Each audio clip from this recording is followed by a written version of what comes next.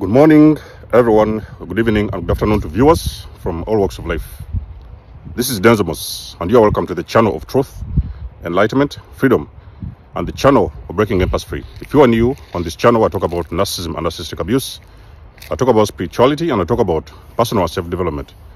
And if any of that resonates with you, I invite you guys to join us, give us a like, share the video with friends, and you may subscribe if you haven't already. And for those that have always been with us, you are welcome back, and I thank you for your love and support.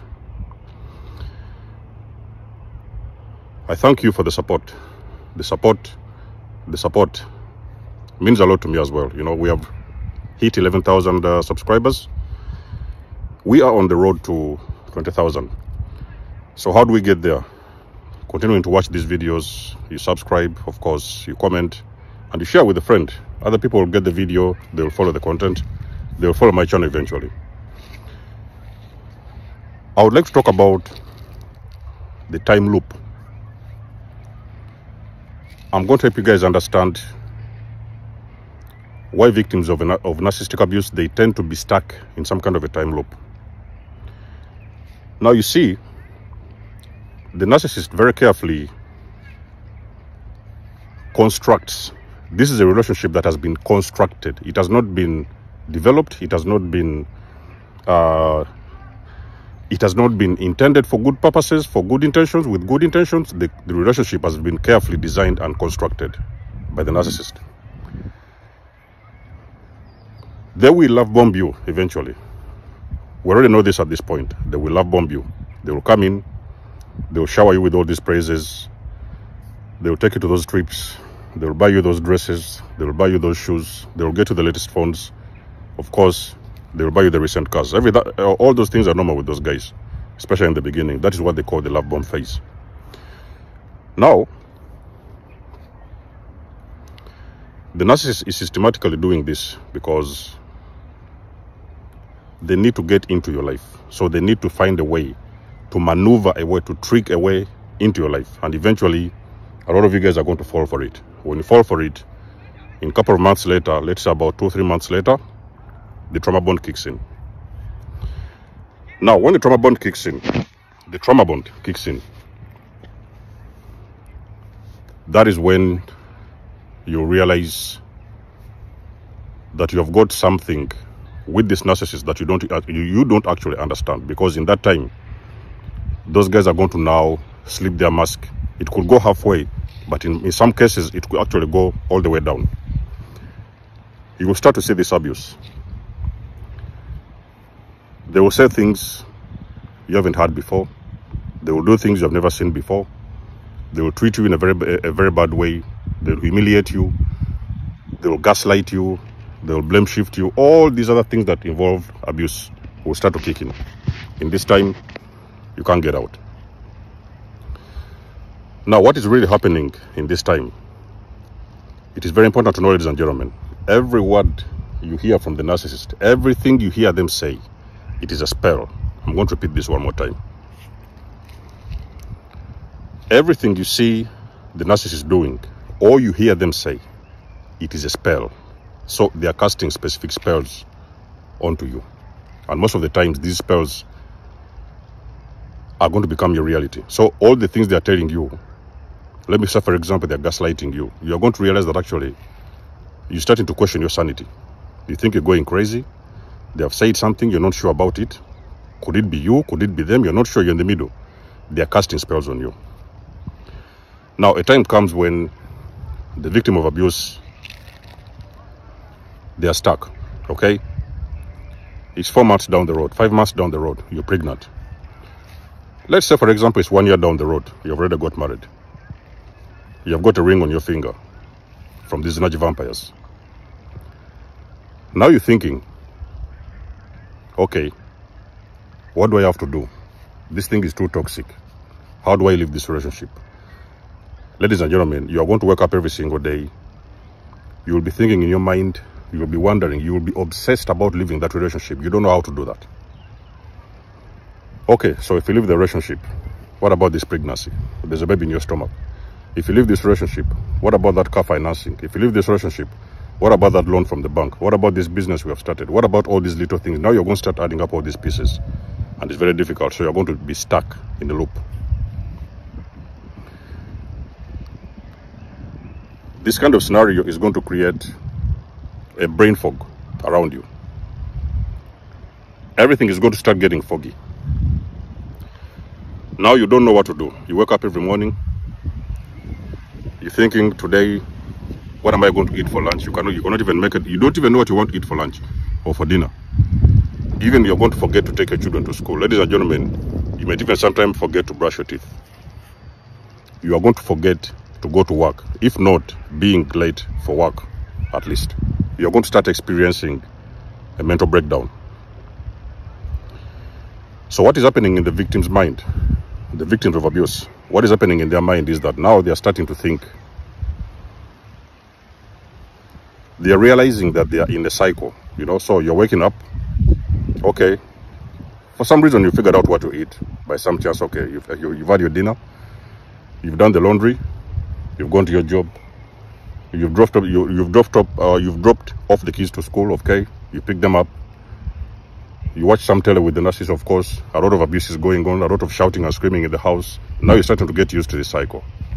Now you do not know what exactly, what kind of life are you living. You're starting even to doubt that relationship. In most of the cases,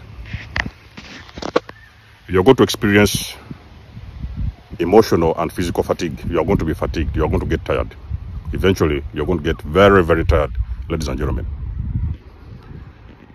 You will be longing to connect with the people that you used to love because by that time of course let's say like for example one year down the road everybody's gone your brothers have nothing to do with you.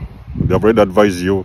Leave that man leave that wife. Of course you didn't listen. They think you didn't listen. Everybody has left you. Now nobody is coming to your house. Nobody is visiting you. You do not have any form of contact with your family. Everybody is gone. You're stuck with an energy vampire in the house.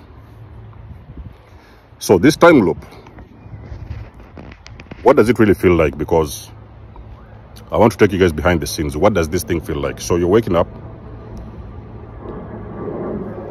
You're doing the things you think you should do. Of course, you're putting a lot of energy.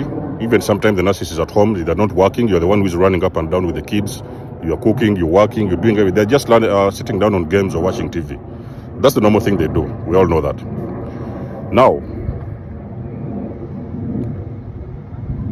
you're going to experience sometimes whereby you're going to start losing track of time.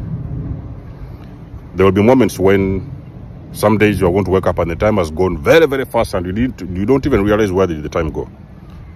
Sometimes you're going to wake up and you're going to realize the time is dragging. It's like the whole day is dragging. You know, you're just waiting for the night to come. And then when the night comes, you wait for the day to come. The day comes.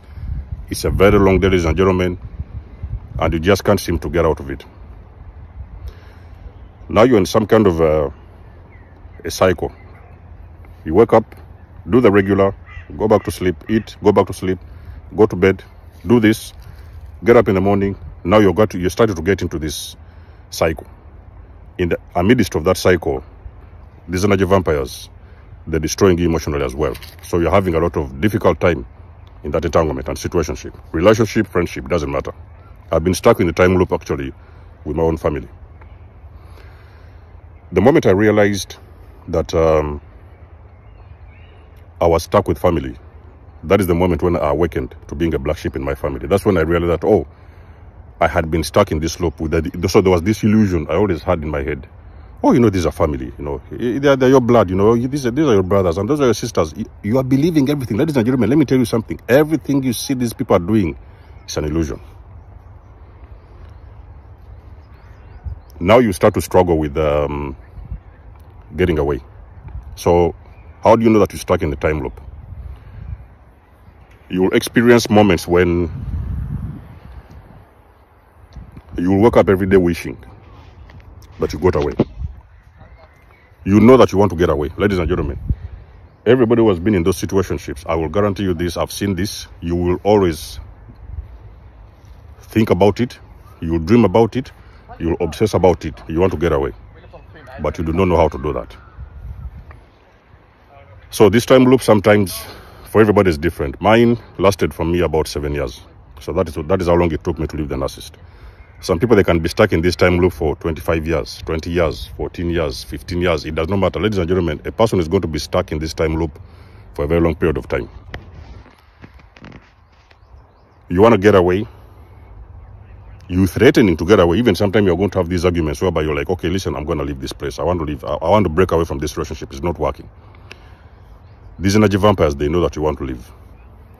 Is the reason as to why initially, when you met these guys, the first thing what they do, they had to bond you. They bonded you emotionally. So they cast specific spells on you to make you believe that they are the ones for you so that you could fall for these entanglements and you fell for it. We fell for it. Personally, I fell for it as well, as well in the beginning. So you are now stuck with a very toxic individual. You're wishing to meet someone, even when you're with them, you're starting to wish because now you're starting to see this emotional distance. Because I've told you guys, these guys are emotionally distant with you, they only come to you when they need something, then they'll get away. So whenever you whenever you crave this emotional connection with them, they're running off. You know what I mean? So they're always leaving you very empty from the inside. You know what I mean? You're with a wife or you're with a husband. Sometimes the way they treat you, you don't even want to sleep with them. You are craving emotional connection with someone.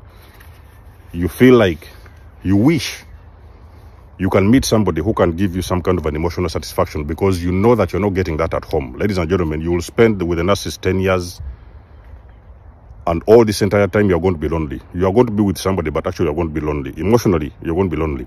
You're with somebody physically, but on emotional level, you're lonely. And ladies and gentlemen, it is going to be like a dream. So most of the times the people experience this time loop is like, it feels like a dream. You know what I mean? So for example, you go to sleep. Of course, you go to bed in the night, you sleep. You have a dream like anybody else. Of course, we, all, we already know the dreams we guys used to have when we were the nurse. Me personally, I used to have a lot of nightmares when I was with those guys. Very bad nightmares. You wake up, you now experience another dream. Very long one throughout the whole day. You feel like you're walking. It's like you're now starting to see this simulation, you know. Your brain is very disconnected. You are so disconnected to your higher self that you do not even know what you're doing you don't even know what what things to do you don't know what to plan you don't even have control over your life it's like you are in this cycle you're moving one step at a time and you do not know what to do with yourself so you are having a very long dream each and every single day and you do not know how to get out of this dream so that is a sign that you're under abuse. So sometimes the victims will experience a lot of depression in that time. When you're with these guys for a very long period of time of course in that kind of abusive cycle you start to see a lot of depression. You usually be stressed. You'll be very very confused. You'll be very very emotionally uh, what do they call it? You will feel always feel that thirst for an emotional connection with somebody but in that moment you are stuck with a very toxic individual and you know what is the funny point let me tell you what is the funny point what even sometimes people don't talk about most of the times when you're in this in this kind of entanglements and you're stuck in those loops you're going to start to see sometimes you might even run into opportunities. It could be friendship opportunities. It could even sometimes be romantic opportunities. You will see sometimes you run into people and you really feel that these people, they are really nice people. Very good people and they mean well for you. Sometimes you will even believe that you have, you have done a mistake to meet those individuals. So a lot of times that's why you see a lot of victims tend to have these regrets. They start having this regret because down the road you're thinking that I shouldn't have gotten with this person if I knew this. You know what I mean? I've even heard about some people on their wedding days. They're already cursing the relationship on their wedding days because they're starting to see the abuse. So the reason why you see these guys are rushing in to marry you, to put a wedding ring on your finger, they know that you are going to run off. Ladies and gentlemen, they know who they are. You know? They may not necessarily know that they're narcissist, but they know that they have got toxic patterns because they have already seen these things happening in their lives and they know how it works. So they are catching in, they're running in very quickly to hook you, hook you up and suck you very fast into that entanglement and bond you very quickly before you leave. So is the reason as to why you see them, they're moving very, very fast. Two weeks, you're pregnant. Three weeks, you're pregnant. One month, you're married. Three days, you're moving together. That's how they work. It's how they operate. Ladies and gentlemen, all these things are red flags if you do not want to be stuck in an emotional loop, those kind of time loops with those people, you have to look out for the red flags when you're meeting someone. They are very quick to move in, quick to marry you, quick to have babies. They are gifting you with all these things even before they know your name. A person will come and buy for you the most expensive dress or a watch or whatever, take to the most expensive dinners even before they know your name. So that's how fast those people move. All those are red flags, ladies and gentlemen. The time loops are real. The time will stop. You have already lost track of time. You can no longer take care of yourself, your own personal needs as an individual. You're only concerned about taking care of an individual. A very toxic individual for this matter. You know what I mean? So those are the things we'll talk about when, when I'm talking about a time loop. I'm talking about the cycle that is keeping on going. You know, that, that kind of cycle whereby you're keeping on going in circles with a very toxic individual. You're thinking about leaving them. You're thinking about terminating this relationship. You don't know how to do that. Now you decide to surrender into the relationship. However toxic it is, you find yourself surrendering. You say, okay, let whatever be. Whatever happens will happen. I'll just stay in there. I've had, I've had people personally, personally telling me these kind of things. Okay, let me get stuck in this. Let me just leave it the way it is. We shall see how it goes. So how it goes, it can go for that. It can go like that for 10, 20 years if you're not careful with these guys because those guys are not willing to let you go. You know what I mean? So, ladies and gentlemen, empaths very important to know. Beware.